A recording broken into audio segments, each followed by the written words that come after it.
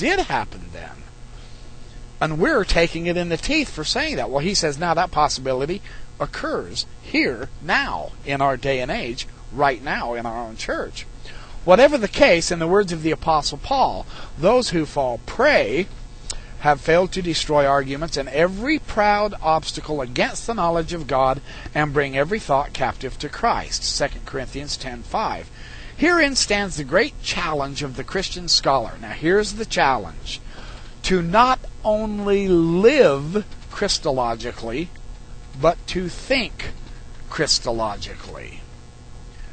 So there is a type of Christological living. By grace we are saved. We've been told that. It doesn't matter what happens. Once you accept Jesus, you are totally saved. Norman Geisler says, no, no, there's a responsibility to live Christologically as well as to think Christologically. Well, how about it? Are we going to uh, answer this call or not? Do not allow sincerity to be a test of orthodoxy. In the early Christian councils, absolutely everyone, Arius, Athanasius, all of the bishops, everyone was sincere in their adumbrations of the relationship of Christ to God, of the relationship to these two to the Holy Spirit, and so on and so forth. This is an interesting situation. Do not allow sincerity to be a test of orthodoxy. We sincerely believe in the Trinity, the Christians say. You Mormons don't. Therefore, you're not orthodox. Norman Geisler says that won't do anymore. In spite of this radical departure from orthodoxy noted earlier, Benedict Spinoza, the grandfather of modern negative biblical criticism, insisted on his biblical fidelity, declaring, I am certified of this much. I have said nothing unworthy of Scripture or God's Word. Well, most people who are sincere, which includes absolutely all of those early Christian councils, didn't think they were speaking against God. Bart Ehrman, in his book Lost Christianities, describes the various types of uh, Christological thinking that was occurring, and every one of those people were sincere. Everybody's sincere. No one's going to deliberately apostatize, you see. Nobody is trying to understand the scriptures through apostasy. This is remarkable. He said, Spinoza goes on, I've made no assertions which I could not prove by the most plain arguments to be true. He sounds just like the Trinitarians do against we Mormons. It's obviously true. I make no assertions, and these are plain arguments about the Trinity, and they're anything but, but they're surely sincere about it. I can therefore rest assured that I have advanced nothing which is impious or even savors of impiety. Well, of course not. Nobody seeks to be impious, but that doesn't mean what we all teach and understand and learn is true doctrine. The Trinitarians need to take a note of this. This reminds me of Fuller Seminary's defenses for keeping Paul Jewett on their faculty after he denied the inerrancy of the Bible by cl- see the inerrancy of the Bible. That in itself is a sincere belief, but it's fundamentally false. And now Norman Geisler is arguing against the fact that they kept Jewett's faculty position because they decided to explain to him the faculty because he sincerely believed his view was orthodox and because he had faithfully taught at Fuller for many years. Since when did sincerity and longevity become the test for orthodoxy? That's on page 18. Let me read this to you again. Since when did sincerity and longevity become the test for orthodoxy? Do you know how many Christians are arguing the Trinity doctrine has been established for centuries and it's the Orthodox view and therefore it's sacrosanct? This is amazing. Yeah. Sincerity and honesty hardly establishes the Trinity as a doctrine either.